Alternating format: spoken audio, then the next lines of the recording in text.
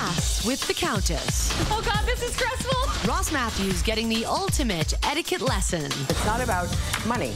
You know, class is not about money. Countess Luann de Lesseps, the taskmaster and star of the Bravo hit reality show, The Real Housewives of New York City, with some social grace no-nos. Number one for me is chewing gum obnoxiously. Yeah. And it's kind of obnoxious. Oh, and that's my next pet peeve is the is cell phones. For more on minding your manners, check out Class with the Countess, How to Live with Elegance and Flair in stores now. Now it's time to play the Insider.com's hit celebrity game Who's More Popular